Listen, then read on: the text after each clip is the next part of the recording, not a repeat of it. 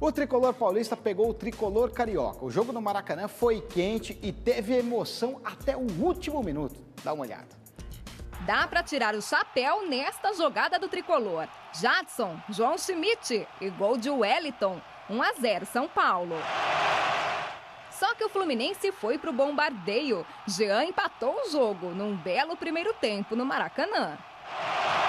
Depois a partida foi dura até o finalzinho. Quando a bola foi parar na cabeça do Gum, foi o golpe final. Fluminense 2, São Paulo 1.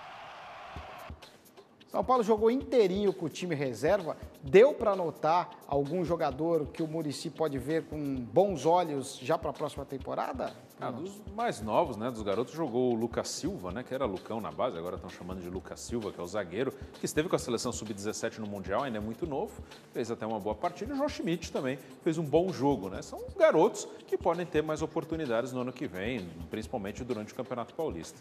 O Jadson jogou e também queria que você falasse um pouquinho do Fluminense, né, que conseguiu uma vitória importantíssima para tentar escapar dessa zona da degola, que o Fluminense está bem pertinho ainda. Muito perto, né? Em relação ao Jadson, ele vai ter que buscar novamente o espaço dele junto ao Murici Ramalho no time principal da equipe do São Paulo, porque nesse, nessa formulação que o Murici está tentando dar uma cara para esse final de campeonato provavelmente pensando para 2014, me parece que o articulador principal é o Ganso e o Jadson perdeu um pouquinho de espaço em relação a isso. No que diz respeito ao Fluminense, o Fluminense tem uma tarefa muito complicada, essa vitória foi extremamente importante, mas não será fácil a vida do Fluminense para escapar da zona do rebaixamento.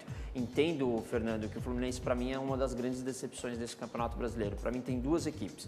Um é o Corinthians e o outro é a equipe do Fluminense. Realmente o Fluminense poderia ter feito um papel muito melhor nessa temporada.